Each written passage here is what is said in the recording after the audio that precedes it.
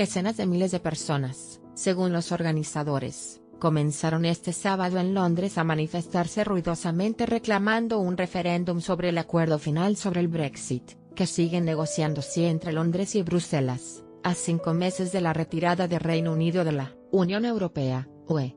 Bajo un suave sol otoñal boreal, el cortejo de manifestantes procedentes de los cuatro rincones del país, y transportados en más de 150 autobuses, empezó a media jornada a recorrer el centro de la capital británica, en dirección hacia el Parlamento.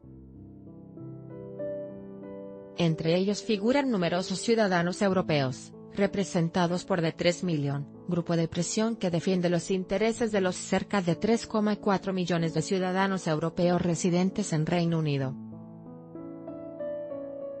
Responden al llamado de People's Vote, el voto del pueblo, un movimiento que milita por un voto popular, y que agrupa a numerosas asociaciones eurófilas. La última gran marcha hacia el Parlamento británico para pedir un nuevo referéndum reunió en junio a unas 100.000 personas.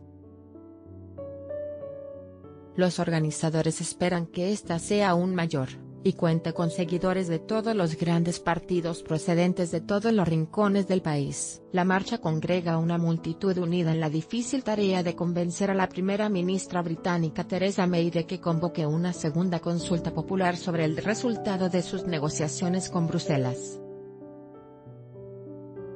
Pese al ambiente festivo, el mensaje es grave el Brexit que sus partidarios prometieron antes del referéndum de junio de 2016 donde se impuso por 52%, no tiene nada que ver con el que se está negociando ahora. Los organizadores creen además que los británicos que entonces votaron por el Brexit, modificarían ahora su posición al tomar conciencia de las consecuencias reales de abandonar la UE. Creo que la, la gente se equivocó, de varias maneras, dice el empresario Peter Hancock, interrogado por la AFP, mientras anuda una bandera europea en torno al cuello de su gran perro pastor queremos seguir siendo europeos, añade su mujer Julie.